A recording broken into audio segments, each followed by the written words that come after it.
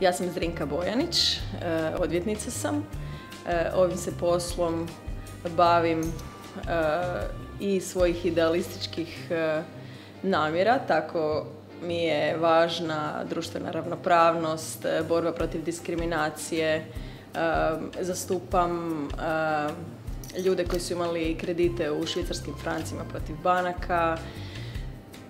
Bavim se i razno raznim drugim stvarima, ali evo, možda me najviše inspirira upravo ta nekakva društvena jednakost i, i nekako bolje sutra i bolje društvo koje ćemo ostaviti iza sebe.